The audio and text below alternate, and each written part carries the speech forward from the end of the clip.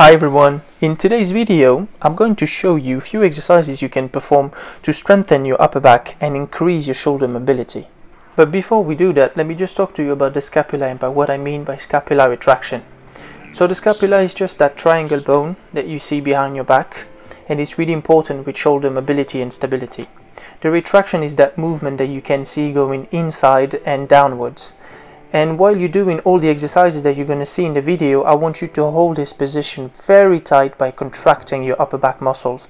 It's going to improve the strength of your upper back obviously and it's going to reduce the shoulder pain neck pain and upper back pain in general. So please make sure you ask me any question that you need in the comment and enjoy the videos. See you guys